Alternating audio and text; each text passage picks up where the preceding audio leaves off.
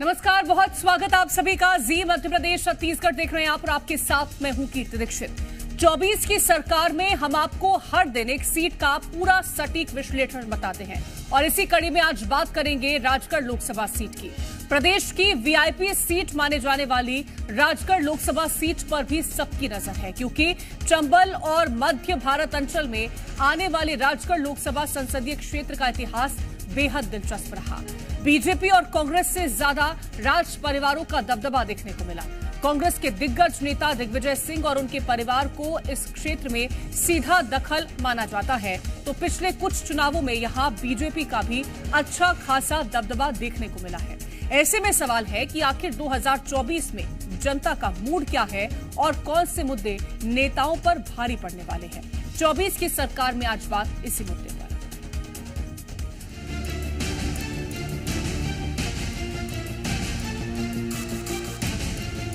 लोकसभा चुनाव के लिए 7 मई को राजगढ़ सीट पर भी मतदान होगा और ये सीट मध्य प्रदेश की वीआईपी सीटों में शुमार है। और इस सीट पर मुकाबला तब और दिलचस्प हो गया जब इस सीट पर लंबे समय के बाद कांग्रेस के दिग्गज नेता दिग्विजय सिंह उतरे हैं। वहीं उन्हें टक्कर देने के लिए बीजेपी ने रोडमल नागर को चुनावी मैदान में उतारा। राजगढ़ में पिछले एक दशक से बीजेपी जीत रही है। ऐसे में कांग्रेस ने सीट को दोबारा हासिल करने के लिए एक बार फिर दिग्विजय सिंह को आगे किया है। दिग्विजय सिंह 33 साल बाद लोकसभा चुनाव के मैदान में है, लेकिन लंबे समय के बाद राजगढ़ के एक सियासी मैदान में उतरे दिग्विजय सिंह के सामने कई चुनौतियाँ हैं। दिग्विजय सिंह के लिए भी ये चुनाव करो या मरो बन चुका है। वहीं इस बार कम वोट प्रतिशत भी दिग्विजय की चिंता बढ़ा रहा है, क्योंकि अगर वोटिंग प्रतिशत कम रहा तो इसका नुकसान दिग्गजों को अपनी अपनी सीट पर होगा। दिग्विजय के सामने यही चुनौती है कि उन्हें राजगढ़ लोकसभा सीट अच्छे मतों से जीत कर देनी होगी। राजगढ़ में दिग्विजय सिंह ने माहौल तो अच्छा बनाया है। कांग्रेस फाइट में भी नज़र आ रही है, लेकिन सिर्फ़ नज़र आने से काम नहीं चलने वाला, क्योंकि बीजेपी भी यहाँ दिग्विजय को बराबर की फाइट देती नज़र आ रही है। कांग्रेस पार्टी की एक मानसिकता है। ये उनकी मानसिकता है, ये अराजक मानसिकता है, और जिसका जवाब जनता दे रही है, सारा देश उसको देख रहा है इसी मानसिकता की वजह से कांग्रेस किस पायदान पर पहुँच गई है ये तो कांग्रेस के नेतृत्व को विचार करने की आवश्यकता है। मैंने सदैव कांग्रेस पार्टी के कार्यकर्ता के रूप में और प्रतिनिधि के रूप में जो मूल सुविधाएँ हैं राजगढ़ संसदीय क्षेत्र की उन पर ज़्यादा ध्यान दिया है। विशेषकर सिंचाई पेयजल शिक्षा और स्वास्थ्य इन पर मैं ध्यान दूँगा। जो प्रत्याशी आपके सामने उन्हें क्या कहना चाहेंगे? शुभकामनाएँ। दिग्विजय सिंह जिस तरह से लोगों को उनका आखिरी चुनाव की भावुक अपील से खींचते नज़र आ रहे हैं, अगर राजगढ़ की सीट पर उसका असर नहीं हुआ और लोगों ने बम्पर वोटिंग नहीं की तो फिर कांग्रेस और दिग्विजय सिंह के हाथ से राजगढ़ सीट जीतने का गोल्डन चांस फिसल सकता है, क्योंकि दिग्विजय सिंह के सीट से नदारद होने के बाद बीजेपी ने यहाँ अच्छी पकड़ बना ली है। देखना होगा कि इस बार राजगढ़ की जनता किसका साथ देती है। Bureau report, Zee Media.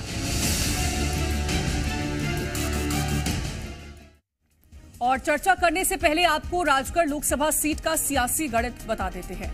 Madhya Pradesh की वीआईपी सीट मानी जाती है राजगढ़ और राजगढ़ का इतिहास बेहद दिलचस्प रहा है।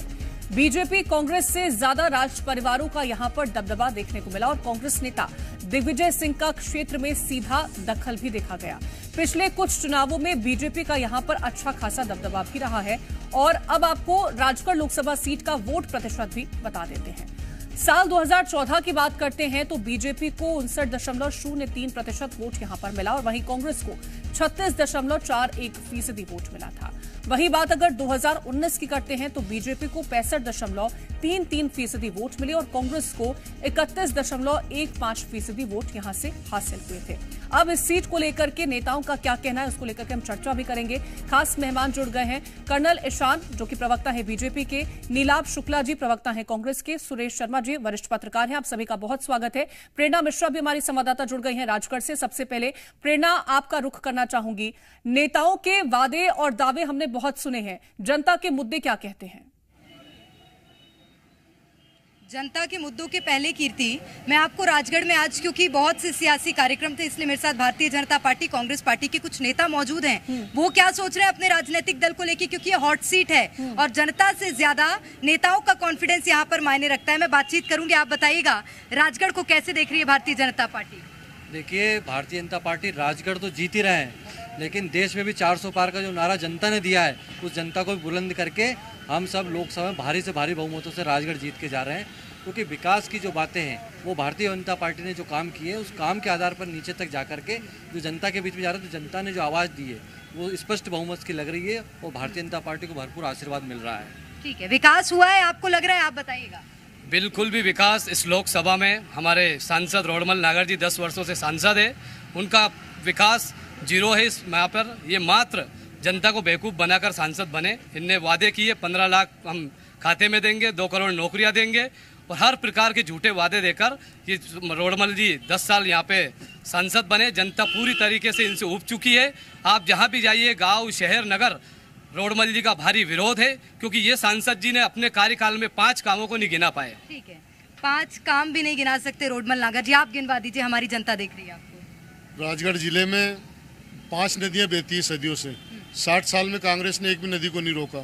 भारतीय जनता पार्टी ने पाँचों बड़े बाँध बाँध कर बाईस हज़ार करोड़ के, वो पूरे राजगढ़ ज़िले को पीने का पानी, हर खेत को पानी पहुँचाया।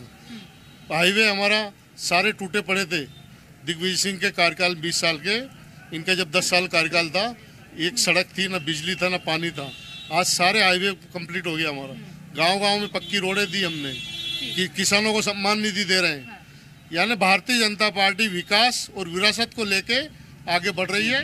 एक और बात ये मैं आप आगे आइएगा। ये इतनी गाय सड़कों में रहती हैं मैं खुद रास्ते से अभी आई हूँ सड़क राजा की देन है दिग्गी राजा की। दिग्गी राजा जी गौ माता जिस जन्मभूमि पर चढ़ती थी उसको बांटने का काम किया जिसके अब तो बीजेपी का सांसद है दस साल से। ज़मीन तो बांट ज़मीन तो दे चुके ना। जिस भूमि पे प्राकृतिक प्राकृतिक व्यवस्था थी गोमाता वहाँ चढ़ती थी उसको इनने इनके बापोती समझ के बांट दिया। आज गौ माता को जो गौ माता का श्राप ही है दिग्विजय सिंह का भी पत्ता साफ़ होगा ना? गौ माता का श्राप ये आप बताइएगा मैं मैं आऊँगी आपके पास। युवा हैं आप बताइएगा क्या मुद्दे हैं राजगढ़ के? में मुद्दा है यहाँ पर शिक्षा का स्तर जो लगातार गिरता जा रहा है। माननीय राजा साहब ने यहाँ पर हर पाँच किलोमीटर के क्षेत्र में हाई स्कूल बनवाए थे शिक्षा के लिए काम किया था। लेकिन भारतीय जनता पार्टी के शासनकाल में ये हुआ है कि शिक्षा का स्तर लगातार गिरता जा रहा है। जो टीचर है वो टाइम पर नहीं पहुँच पाते स्कूल टाइम पर नहीं खुलते हैं यहाँ पर। दूसरी बात है मैडम यहाँ पर कि माननीय राजा साहब के कार्यकाल में ही तालाब बनाने का काम हुआ गाँव में। बिजली की जो बात करते हैं कि भारतीय जनता पार्टी के हमारे कार्यकाल में माननीय राजा साहब जब मुख्यमंत्री थे उस कार्यकाल में राजगढ़ ज़िले के अंदर बिजली पहुँचाने का काम किया था। गाँव गाँव में बिजली उस समय पहुँची नहीं पहुँच रही क्या? अभी भी पहुँच रही है, मैडम और ये भैया यहाँ पर है। जिला जिला बिजली पहुंचाई है कह रहे हैं। मैं आऊँगी प्रेरणा जी मेरी बात एक बार आप मैं बताना चाहता हूँ आपके माध्यम से।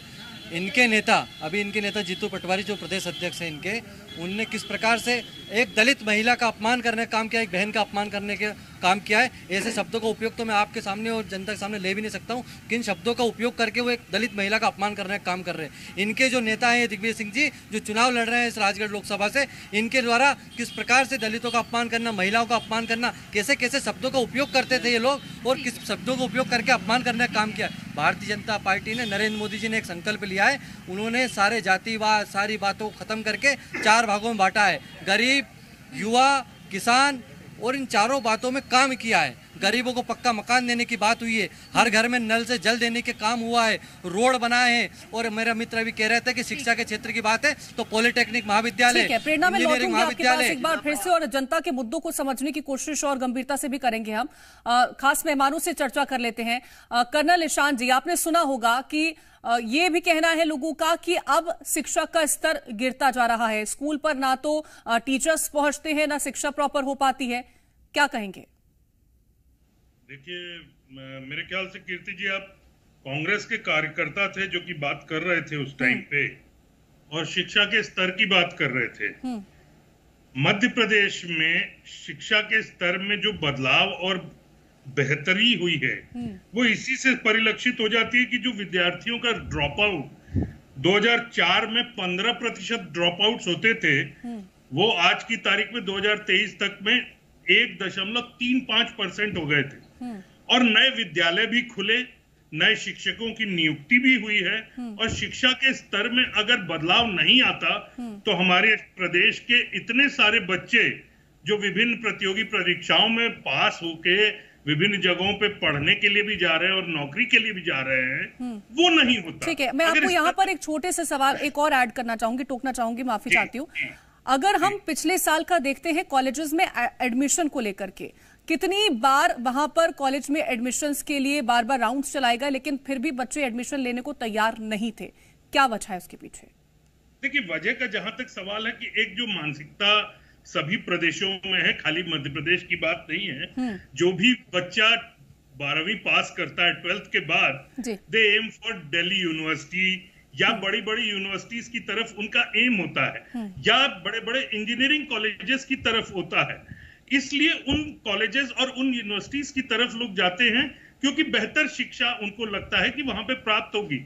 लेकिन इसका मतलब ये कतई नहीं है कि मध्य प्रदेश में शिक्षा का सुधार नहीं हुआ है। जो भारतीय जनता पार्टी की जब से सरकार यहाँ पे प्रदेश में आई है मैंने आपको 2004 के एक दो आंकड़े दिए जो कि जो बदलाव शिक्षा के स्तर में विद्यालयों के स्तर में सीएम राइज स्कूल बनाए गए तो ये सब शिक्षा के स्तर को सुधारने के लिए ही आए थे। और जो ये राज्य बंटादार हो रखा था पिछड़े वर्ग में आता था उसको बदलाव आया है है जो बर्बादी हो रखी थी जो बीमारू हो रखा था जिस तरह से आप कह रहे हैं उसमें बदलाव करने की कोशिश की गई है। मैं लौटूँगी नीलाब जी आपके पास भी सुरेश जी आपके पास भी लौटूँगी। एक बार फिर से प्रेरणा का रुख करना चाहूँगी। प्रेरणा जानकारी दीजिएगा।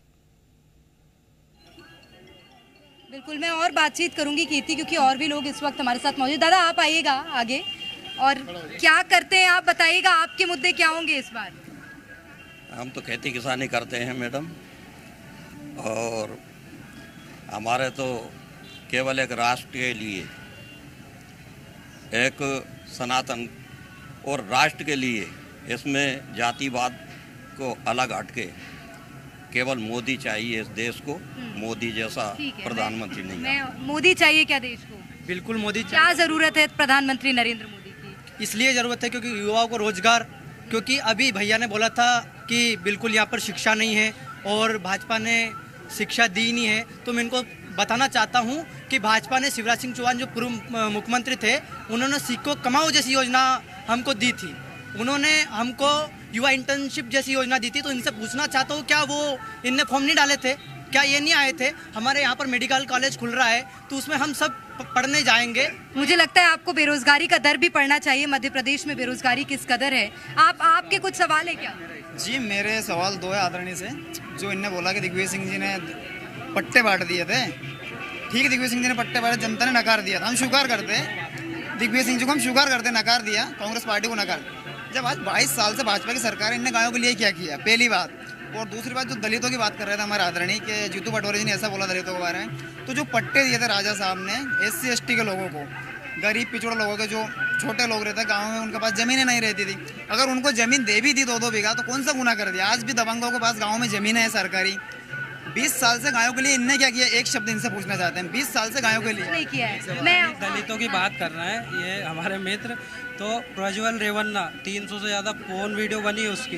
उसको विदेश भगा दिया बताइए आप दलितों की बात कर रहे हैं। घर की नौकरानी तो नहीं छोड़ा उनने। घर की नौकरानी। ठीक है। कहिएगा आप बोल रहे हैं कि आप जो भी आरोपी होते हैं उनको विदेश भगा रहे हैं? कोई नाम तो बताएँ वो। प्रज्वल रेवन्ना प्रज्वल रेवन्ना। प्रज्वल रेवन्ना वो तो सभी लोग जाते रहते हैं विदेश में। उसमें पार्टी थोड़ी भगा रही है। कोई सबूत है कि बीजेपी भारतीय जनता पार्टी तो गाय के नाम पर राजनीति कर रही है ना। इतनी गाय सड़कों पर घूमती है क्यों कार्रवाई नहीं हो रही है? सभी के लिए गौशाला बन रही है। कांग्रेस ने उस समय में जो गोचर ज़मीन थी जो गौ माता की होती है उनके पट्टे जो व्यापारी वर्ग को हमारे दिग्विजय सिंह जी कर चुके हैं इसलिए ये गौ माता गाँव गाँव घूम रही है। लेकिन अब की बार जब मोदी जी की सरकार आएगी एक एक ज़मीन को हम लेंगे और गौशाला दोबारा बनाएँगे गौचर भी खोलेंगे। मेरे को लगता है इससे पहले भी बहुत दावे किए गए। जी। देखिए मध्य प्रदेश में गौशाला के नाम और राम नाम पे भारतीय जनता पार्टी राजनीति करती है। माननीय हमारे पूर्व मुख्यमंत्री कमलनाथ जी ने मध्य प्रदेश में एक साल एक एक हज़ार गौशालाएँ खोली। जब ये सत्ता में थे पंद्रह वर्षों तक शिवराज जी रहे एक गौशाला नहीं खोली और गौ माता के नाम पर जो घास आता है उसके बीस रुपए कमलनाथ जी देते थे एक, ये दो रुपए देते हैं। धिक्कार है ऐसे राम। बढ़ा दिए नहीं बिल्कुल नहीं। जब से हमारे मोहन यादव जी मुख्यमंत्री बने सबसे पहले आकर के उन्होंने निर्णय किया और गौशाला के लिए गौ माताओं के लिए उन्होंने फंड अवेलेबल कराया और उसको दुगना कर दिया। ये गौ माता की सोच हमने समझ लिया। बिल्कुल। ठीक है प्रेरणा मैं लौटूँगी आपके पास। नीलाभ शुक्ला जी तैतीस साल बाद एक बार फिर से राजगढ़ के ग्राउंड पर उतर रहे हैं दिग्विजय सिंह। आपको क्या लग रहा है कितनी मजबूती है इस बार कांग्रेस के पास? क्योंकि जनता के कई मुद्दे हैं। देखिए जन आप मैं यही देख रहा था आपके चैनल पे था कितना आक्रोश है जनता के अंदर मूलभूत सुविधाओं को लेकर स्कूली शिक्षा को लेकर स्कूलों को लेकर सड़क को लेकर, पानी को लेकर। मेरे भाजपा के मित्र बता रहे थे, अभी बड़ी चढ़ बातें कर रहे थे स्कूली शिक्षा को लेकर। मध्य प्रदेश में भगवान भरोसे है शिक्षा व्यवस्था। चौहत्तर तो हज़ार स्कूलों में से, छह हज़ार स्कूलों में एक भी शिक्षक नहीं है। और दस हज़ार से ज़्यादा ऐसे स्कूल हैं जहाँ एक शिक्षक के भरोसे चल रहे जबकि हालिया आंकड़े बता रहा हूँ, मैं हर चीज़ तथ्य के साथ कहता हूँ। कुल मिला के शिक्षा का स्तर मध्य प्रदेश काफ़ी गिरता हुआ जा रहा है। राजगढ़ की हम बात करें मूलभूत सुविधाओं से राजगढ़ जूझ रहा है। आज दस साल से वहाँ पर जो सांसद रहे आप आप खुद ही देख रहे हैं जनता किस तरह से उनके खिलाफ आवाज़ उठा रही है किस तरह उनसे उनसे त्रस्त है। निश्चित रूप से दिग्विजय सिंह जी का घर क्षेत्र पहली बार वहाँ से सांसद भी बने हैं और उनमें एक उम्मीद लोग देख रहे हैं कि दिग्विजय सिंह जी आएँगे वापस यहाँ पर एक कायाकल्प होगा। गाय की बातें करते हैं। इनको गो पे सियासत करना है। गो की सेवा नहीं करना। बंदा एक गौशालाओं की हालतें ऐसी है कई गौशालाओं में फंड का अभाव है। गाय भूख से मर रही है गाँव बीमारी से मर रही है। उन्हें अनुदान नहीं मिल रहा है उनका पैसा नहीं है।